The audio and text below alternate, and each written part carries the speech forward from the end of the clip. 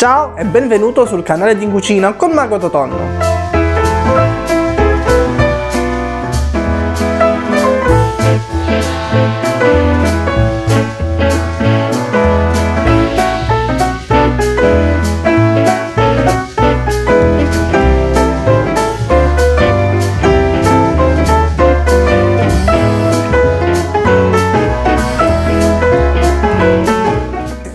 Ragazzi, visto che me l'avete chiesto in tanti che il periodo di Pasqua è alle porte, bene, come promesso vi voglio presentare una pietanza tipica calabrese, ovvero sto parlando del cuduro salato. Ebbene amici, se gli altri anni vi ho presentato il kuduro quello semidolce salato, il kuduro dolce, quest'anno è la volta del kuduro salato. Quindi preparatevi a prendere carta e penna perché sto per dirvi gli ingredienti. Ma prima di continuare, se ti piacciono le ricette tipiche calabresi e non solo, beh ti invito proprio ora a iscriverti al mio canale qui sotto, azionare anche la campanellina e lasciare già un bel pollicione in su.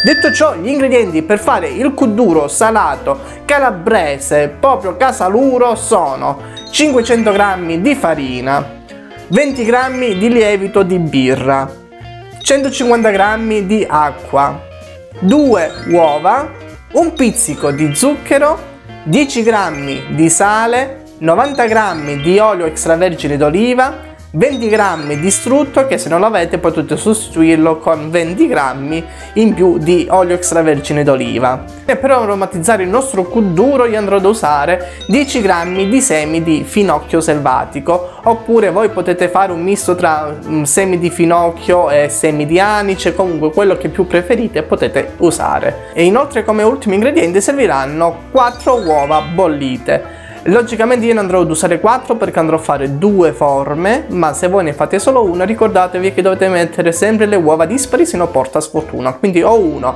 o 3, o 5, o 7 comunque. Ricordatevi per ogni forma vanno messe le uova dispari perché sennò porterà male. Detto ciò spero che questa ricetta carissimi amici vi piacerà, se no come sempre pazienza, non ci posso fare niente adesso andiamo alla preparazione. Iniziamo mettendo in una bacinella la farina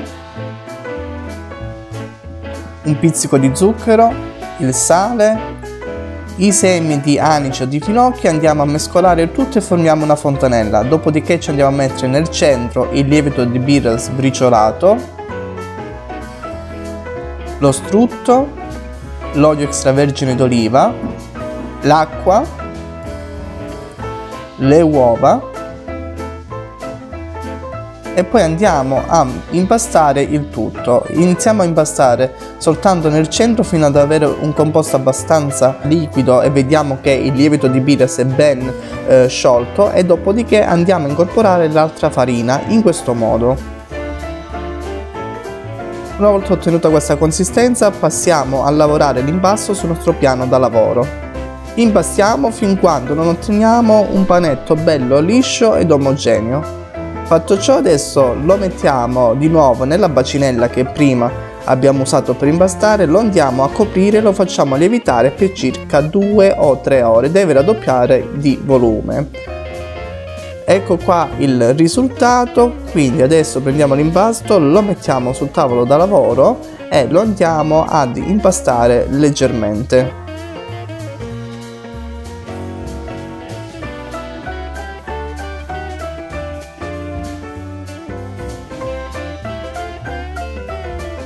Dopodiché lo andiamo a stendere, faccio, formiamo un bel salsicciotto e lo andiamo a dividere in quattro parti.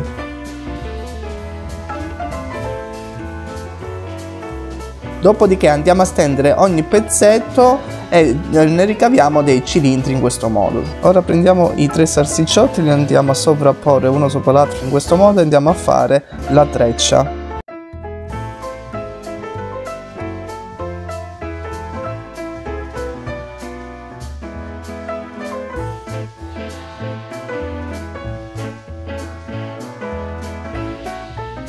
Una volta formata la treccia la andiamo a stendere per bene e la lasciamo così sul bancone per un poco così si rilassa la pasta. Una volta rilassata dopo un minuto ecco qua che andiamo a formare eh, la nostra ciambellone, la nostra bella treccia e ci andiamo a posizionare le tre uova sode.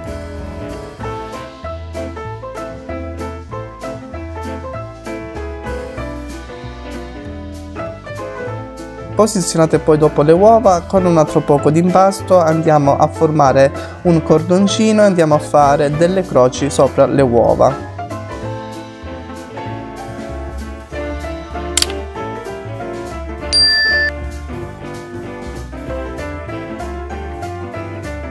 Ora con l'impasto che è rimasto io lo vado a intrecciare in questo modo a due e poi dopodiché in una parte vado a mettere l'uovo e poi ci faccio sempre la croce di sopra. Ora mettiamo su una teglia con carta da forno, copriamo con la pellicola e lasciamo lievitare per circa un'ora.